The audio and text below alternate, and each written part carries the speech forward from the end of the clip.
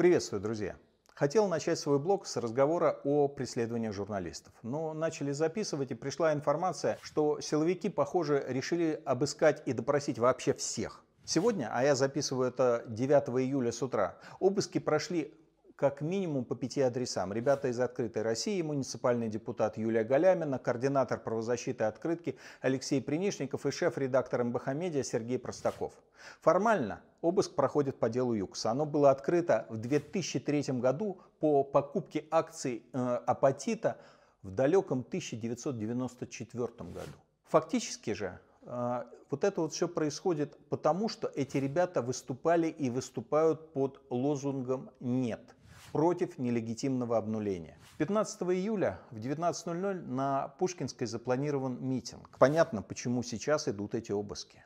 К слову, по делу ЮКОСа власть должна заплатить по решению ЕСПЧ 2 миллиарда и еще 55 миллиардов по решению Гаагского арбитража. И опять же, к слову, ЕСПЧ сказал, что политическая мотивация власти не доказана, но преследование было за действие, не являвшееся преступлением. Впрочем, о мотивации вот этих вот обысков вы можете судить сами. Но вернемся к разговору о журналистах. На всем постсоветском пространстве Россия является для них самым опасным местом. А основным источником опасности для журналистов в нашей стране являются представители власти. На них приходится 68% всех угроз. Таким выводом пришел фонд «Справедливость для журналистов» в своем докладе об угрозах для работников СМИ. Доклад охватывает с 17 по 19 годы. Но мы видим, что ситуация, если и меняется, то в худшую сторону. Только за прошедшие две недели. Псковскую журналистку Светлану Прокопьеву осудили за оправдание терроризма. Журналиста Ивана Сафронова задержали по подозрению в госизмене, а на издателя Петра Верзилова заведено дело о двойном гражданстве. В квартире Сергея Простакова прошел обыск по делу ЮКОСа, а журналисты Давид Френкель, Сергей Ерженков и Анастасия Альшанских получили тяжелые травмы при исполнении профессионального долга. Это все за две недели. Почему столько случаев атак на журналистов? И почему именно сейчас? Вы когда-нибудь сталкивались с бандитами, с ракетерами? В силу разных жизненных обстоятельств мне приходилось. Бандиты постоянно проверяют границы дозволенного, пытаясь прожать на уступки. Путинская власть бандитская, и действует она ровно теми же способами. Власть постоянно тестирует общество, проверяет границы допустимого. И если общество не отвечает, то власть отбирает еще какой-нибудь кусочек свободы. За 20 лет таких кусочков было много. Отобрали федерализм, отобрали выборы, отбирали массовые независимые медиа и независимый бизнес, отбирали право избирать, отбирали право быть избранным, отбирали контроль за жизнью чиновников и свободу перемещения, отбирали право на медицинскую помощь и на заслуженную пенсию, отбирали право на достойную жизнь. Впрочем, можно долго перечислять права и свободы, которых мы лишились за последние 20 лет. Но неделю назад мы лишились, наверное, самого важного права. Права на будущее. Нам заявили, что еще 16 лет у власти будут оставаться те же люди, которые там находятся уже 20 лет. Те люди, которые и лишили нас всех этих прав. Все эти права отбирались обществу потому, что власть не встречала сопротивления, поэтому границы дозволенного для нее постоянно расширялись, а наше пространство свобод постоянно сужалось. И сейчас власть тоже продолжает проверять общество, проверять на готовность отстаивать свои права. 1 июля на голосовании по обнулению мы оказали сопротивление. К сожалению, недостаточное для того, чтобы отбиться, но достаточное для того, чтобы это путинское мошенничество стало заметным.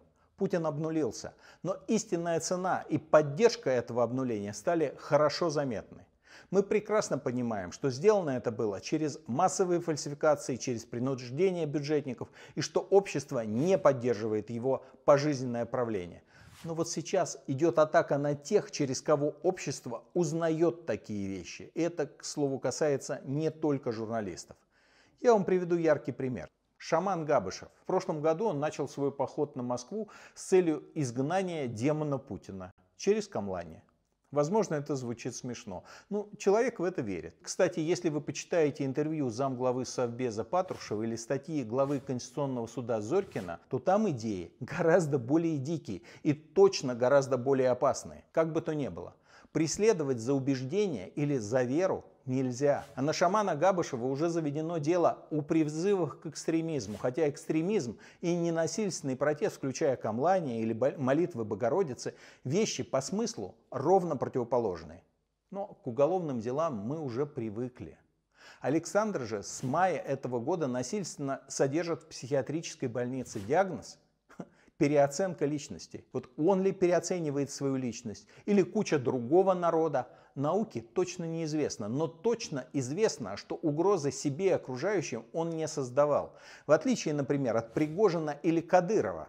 Так мало того, что незаконно содержит в мало того, что на него уже нападал невменяемый сосед, так Абышева еще два месяца закалывают наркотой, постепенно переводя в состояние овоща. Я вот намеренно привел такой пример, касающийся ну, неоднозначного человека. Просто если дать власти загнобить этого шамана, то с остальными получится уже гораздо проще. Ведь если отбросить слова «демон» и «шаман», то что остается в остатке?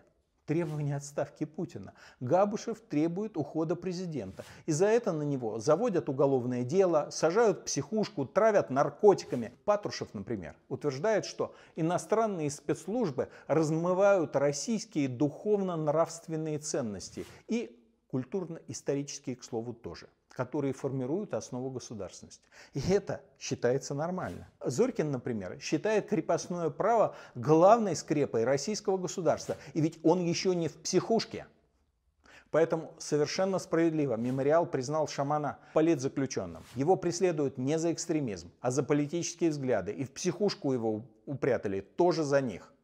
Если мы, как общество, не будем вступаться за таких кажущихся неоднозначными или странными людей, то за нас вступаться тоже будет некому. Громкие дела последнего времени, журналисты, шаманы, активисты различных организаций, ученые – это политические дела в чистом виде. Ребята из «Голоса» преследуют за разоблачение фальсификации на выборах.